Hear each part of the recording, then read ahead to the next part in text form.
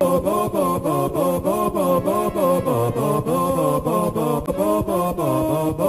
the